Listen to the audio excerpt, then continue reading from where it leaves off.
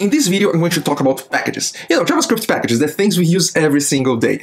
Uh, but did you ever stop to learn a little bit about, uh, uh, for example, what are the differences between dependencies, dev dependencies, and peer dependencies in package.json? Or what does the tilde and the caret, caret characters do? And what is semantic version? What does package lock do? So yeah, in this video, I'm going to cover a few of these things so you can get more confidence on how to use them. Uh, so here I have a sample uh, uh, package.json file, a fictional library they're called here sample library. And right now it's on version 3.1.7. So let's talk about versions and semantic versioning. So semantic versioning is a set of rules on how to, what these numbers represent and how to update them. So there are three numbers for a reason, separated by dots. The first one is what we call the major version, the middle one is what we call the minor, and the third one is what we call the patch. Uh, to explain what they mean, uh, uh, let's suppose I'm, I'm, the author of this library and I'm going to release a new version. How do I increment these numbers? So the patch version is destined uh, uh, for updates that doesn't change the way the user uses the library, doesn't change the API, doesn't doesn't doesn't the user doesn't have to worry about it, and also doesn't introduce anything new. So then you update the patch version.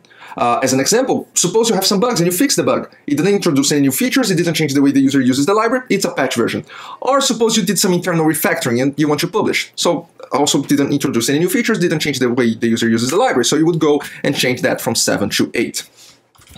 Now, the minor version is destined for new features. Suppose I have, say, a temperature converter library, but what's more exciting than that?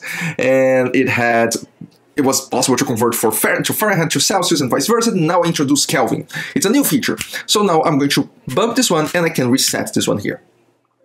Now, finally, if I did something that, that, that really impacts the user that's already have some code written using this library, it changes the way the user uses the library, then I have to update the new major version. So here, I would I can bump the major and reset the others. So as you can see, it's not like a celebration thing. Many people think that this is a celebration thing, right? Oh, it's so much work that I'm going to release as a new major. No, you release as a new major when uh, you have an, an API change. And that's why popular libraries like Rich UI, for example, are still on zero dot uh, because they didn't introduce new new API changes. It doesn't mean it's unstable. Quite the opposite. It's a super battle tested library, uh, but they just keep adding new features and fixing bugs, and they didn't change the API surface. Uh, same thing for React. In the beginning, React always began with zero, and I think it was on React 0.15 maybe or 0.14 that they people kept thinking that it was unstable because it started with a zero and they said fine we're just going to jump from 0.14 to 15.0 so you all stop complaining so this example is like if I were a library author and I publish this as a package, how do I increment and use semantic versioning? But now if I have just a local project and I want to use packages, uh, let's take a look at this another example here. This is a sample project and right now in my package JSON, I'm only using Lodash. So what does these characters do here. I, you might have seen those, like the caret or the tilde, they're the most common.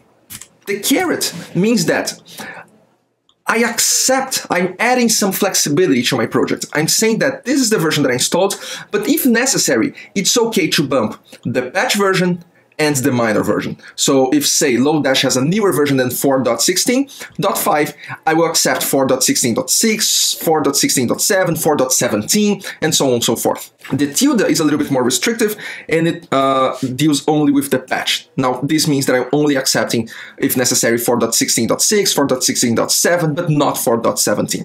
So I created this project a couple months ago and I used the caret and it installed. Let's take a look at my node modules folder and let's look for package JSON. This is Lodash and I installed exactly 4.16.5, correct? Because that's why I asked and I created this project a couple months, months ago. Now, if we take a look at NPM and we search for Lodash, Lodash, so yeah, I can, I can, see that there are a couple differences. I was on 4.16, right?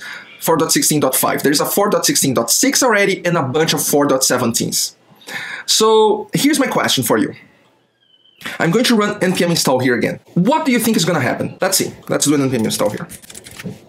Okay, let's check package version again.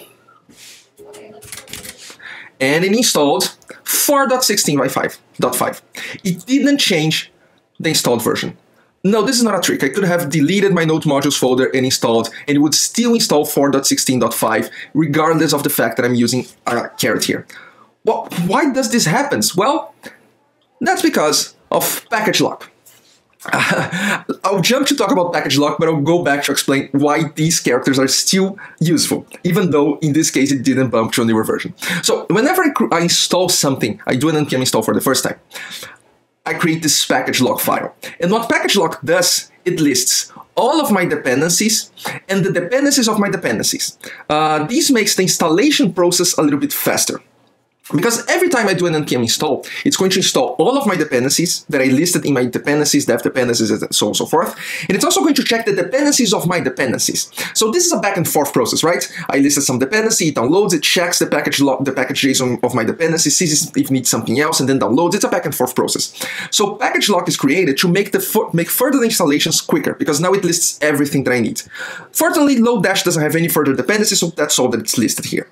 But package lock also serves a separate, different purpose. It locks the exact version that I'm using here, and I'm using 4.16.5, despite the fact that in my dependencies I listed a caret. And that's for a reason. In the past, before package lock existed, what would happen is that I would install a package, I, I, would be working on my project, I would do an npm install, I would keep installing libraries, and I've been working for six months on the project. There comes out comes a new person, a new uh, uh, to work on this project. When they do an npm install, if there is if there weren't for package lock, they could have a they could end up with a completely different set of installed dependencies because I'm using the caret and the tilde. I'm allowing them to install some variations of the library, and even though because of semantic versioning.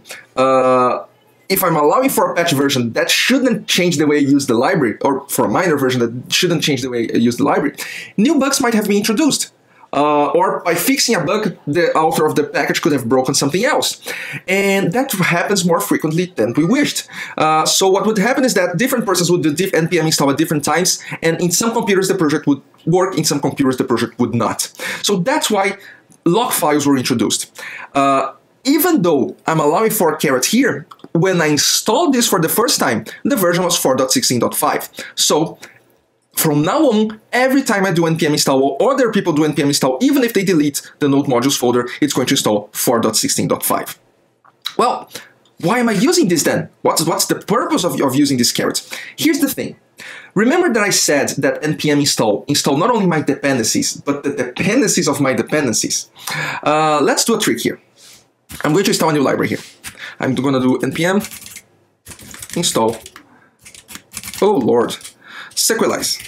Now, Sequelize uh, is a node uh, package to deal with databases. It doesn't matter what it does. What, I, what it matters is that I know that it depends on Lodash and it depends on something else.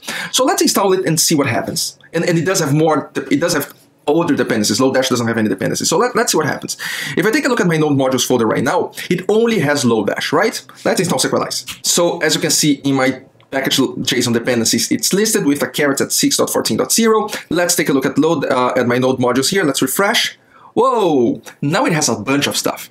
That's because when it installed Sequelize, it took a look at Sequelize's package JSON, and it saw that Sequelize itself has other dependencies. So it went on and downloaded the dependencies of Sequelize. That's why at some point we end up with hundreds of folders in node modules, uh, uh, inside node modules, because I'm downloading the dependencies of my dependencies, so on and so forth.